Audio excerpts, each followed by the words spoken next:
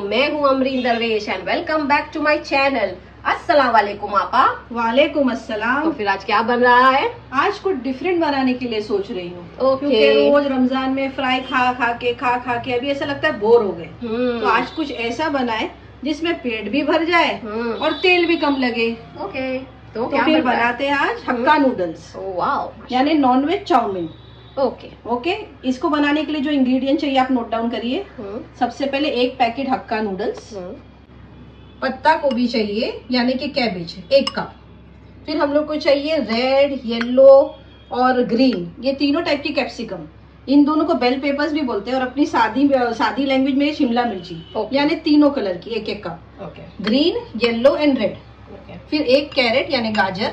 हम्म, थोड़ा सा हम लोग को ग्रीन ऑनियन चाहिए. अच्छा. ये बेसिकली? थोड़ा सा गार्निश के लिए इसके लिए बस ज़्यादा नहीं चाहिए. ओके फिर हम लोग को चाहिए salt as per your taste और ये सब थोड़ा अपना देसी लुक देने के लिए अपन ने ये सब सामान लिए। है विद देसी टच या एक garam masala powder green chilli as per your choice जितना आप टेस्ट खाते हो। हम्म, फिर चिली फ्लेक्स हम्म, फिर मसाला मैजिक हम्म, और चाट मसाला। ओके ओके हम्म, और सबसे मेन इंग्रेडिएंट है क्योंकि ये नॉनवेज नूडल्स है इसके लिए चिकन ओके चिकन को मैंने छोटे पीसेस में कट कर लिया अच्छा और जो चिकन नहीं खाता है वो इसको अवॉइड कर सकते वेज की तरह बना veg Hakka noodles veg Hakka noodles chicken को इस, चिकन को मैंने मैरिनेट करके रख दियो Okay. इसमें एक चम्मच नमक हम्म, और अदरक लहसन का मसाला है। ओके ठीक है? हम्म, white pepper powder hmm, soya sauce hmm, chilli sauce Maggi tomato ketchup hmm, vinegar और अदरक और लहसन दोनों को चॉप करके रख दिए अच्छा। इसमें कम से कम सात आठ कली लहसन है और एक इंच का टुकड़ा अदरक का है। अच्छा। इट इतना सामान चाहिए। और two table spoon oil okay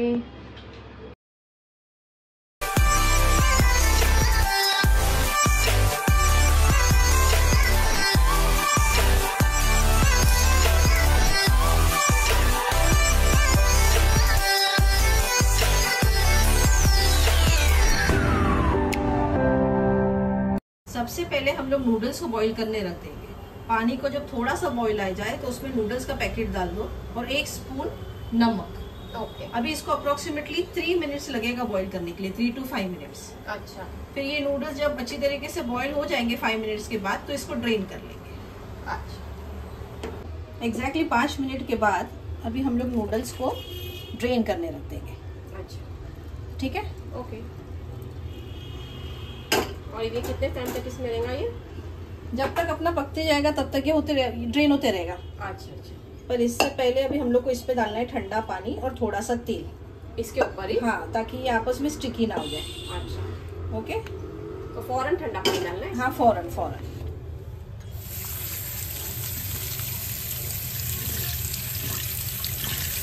बस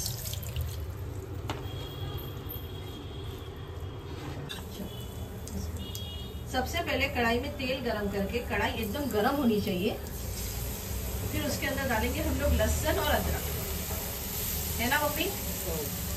हम्म नहीं मम्मी यू कैन स्पीक तुम तो इतना अच्छा खाना भी बनाते हो बोलते भी हो बात भी कर सकते हो। बिहाइंड द कैमरा यस दिखता भी तो है ना।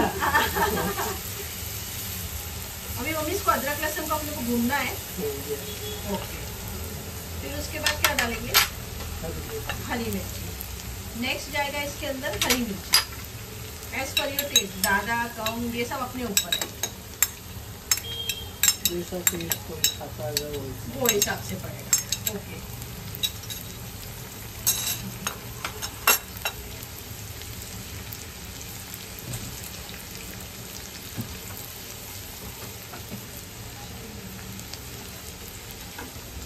भूनना ही है ना? हाँ हाँ भूनना ही है जरा इसकी स्मेल अच्छी आने लगेगी। अच्छा। उसके बाद हम लोग इसमें चिकन डाल देंगे।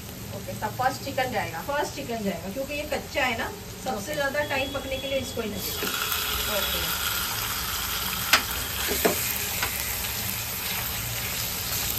स्टेप बाय स्टेप बनाना हाँ। है हाँ स्टेप बाय स्टेप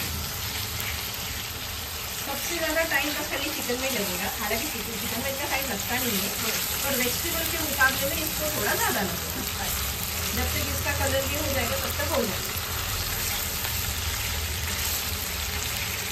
फिर इसके अंदर मैगी क्यूब भी डाल देंगे और कड़ी पत्ता। कड़ी पत्ता मैं बोलना भूल गई थी आप इसमें कड़ी पत्ता भी डालिए।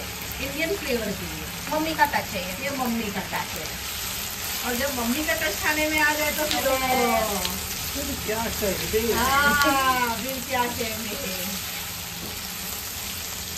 मम्मी चिकन को कितना टाइम लगेगा ये तो सफ़ेद सफ़ेद सफ़ेद हो जाएगी तब तक फिर अभी गाजर को स्टर करेंगे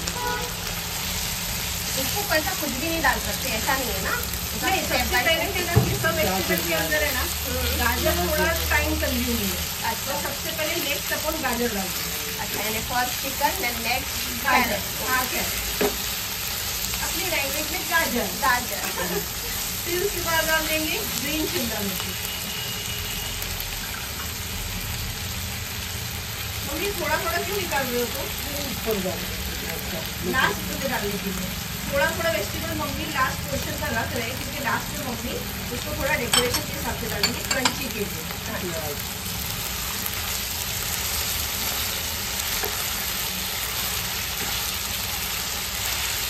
ये पूरा प्रोसीजर हाई फ्लेम पे ही होना चाहिए। अगर आप स्लो पे कर डालोगे तो ये एकदम भाजी जैसा हो जाएगा। हम लोग क्रंची चाहिए फिर नेक्स्ट डालेंगे लाल शिमला मिर्ची, यानी रेड बेल पेपर इसको भी थोड़ा सा साइड पे रखें।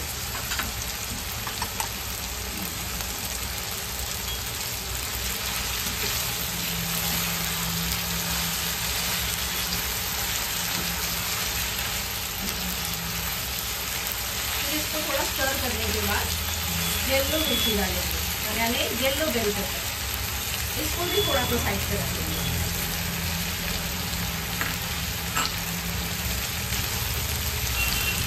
पूरी डिश हाई फ्लेम पे ही होगी? ओके सब पका हुआ ही है। इसलिए अच्छा चिकन को मैरिनेट करने के टाइम पे मैंने इसको नमक डाली थी। इसके लिए अभी खाली वेजिटेबल के हिसाब से मम्मी इसमें थोड़ा सा नमक डाला। हम लोग ने मसाला सूप भी डाले। हैं तो इसके लिए थोड़ा से। नमक हम लोग इसमें डालते हैं में भी नमक होता है ना? हाँ हाँ इसलिए थोड़ा सा Right. फिर सबसे जो डालेंगे हम लोग गोभी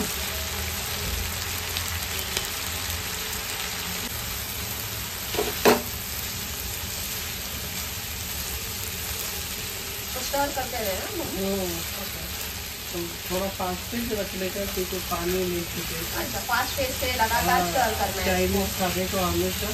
ऐसा ही है। अच्छा चिली सॉस ओके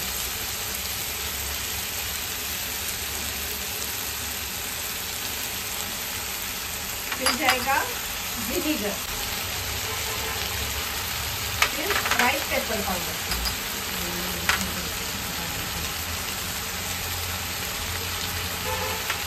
फिर जाएगा टमाटो के साथ होना चाहिए बार बार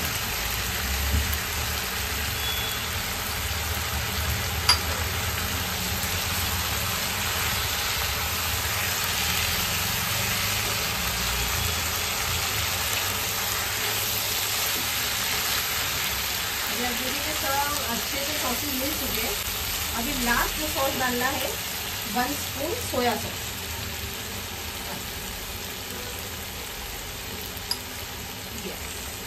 और अगर ज़रूरत पड़ेगी तो बाद में नूडल्स के ऊपर अपन इसको डाल सकते हैं। और फिर बाद में जो हम लोग ने निकाल के रखे थे गरम मसाला पाउडर चिली फ्लेक्स और चाट मसाला ओके ये भी हम लोग डाल देंगे इसके अंदर। एक साथ एक साथ। ओके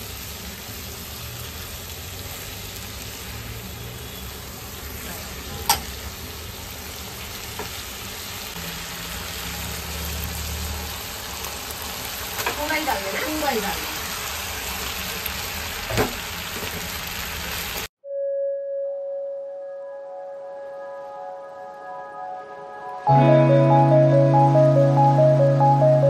प्याज डालेंगे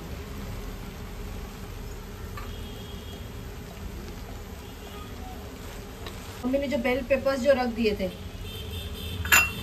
ये डाल देंगे क्योंकि ये हाँ क्योंकि ये लास्ट में क्रंची लगेगा। अच्छा। अभी हम लोग इसको सर्व कर लेंगे। ओके अम्मू यस अच्छा दिख रहा है ना? Yes looking like a wow